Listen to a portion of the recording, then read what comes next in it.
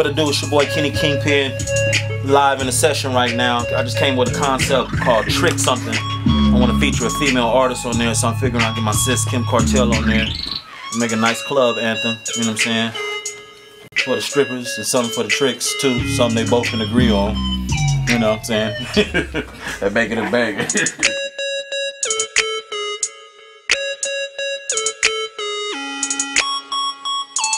Okay. Yeah, I just popped the capsule. I'm feeling supernatural. Hermes belt matching Hermes Birkin satchel. I'm heavy in the fashion, dressing fly as a passion. I promise I'll be clean when I'm laying in my casket. Stun is what I do. I smell the money, what it looks. I keep a shooter with me. I just show 'em where to shoot. We be pressing on your squares, running around acting cute. Right, Crenshaw district, that's the turf. What it do? Tricks up, man. You know what I'm saying? Stop bullshitting. You to come all the way to strip club to play no games. Go ahead and trick something more. If you really out here getting it like you say you're getting, treat your lady to something, man. Trick something. It's plain and simple. There ain't no bullshit involved. Uncut, man. Well, my decision to put Kym Cartel on this particular track was really based on that's the only female in the streets of LA that I see and recognize moving and shaking, getting in the clubs, getting on, you know what I'm saying, tracks, other people's tracks, in the studio banging out her own original tracks.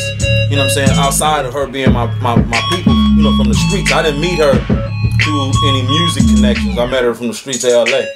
Flew up to the shells, stomping in my little. The king popped the bean, now he crippin' on the moon. Trickin', that don't even mean to a boss. Cash out, he don't give a fuck what it got. Ride out, I-10, Betty in that Benzo. Lambo stuntin', 300 with my kinfolk. Baby mama Honda with your friends, but you been broke. I love working with my brother Kenny Kingpin because he's just an inspiration. Every time I'm in the studio with him, I learn something new every time. And when he's in that booth, it's like magic. Like he's just, you can feel it, like you were there with him, whatever he's rapping about. So I think it's amazing. I just hit a lick and I just might trick something. Voices in my head saying, Go ahead and trick something. In a Louis store and I just might trick something bad. Bitch with me saying, Go ahead and trick something. Just might, I just might, I just might trick Go, something. go ahead, go on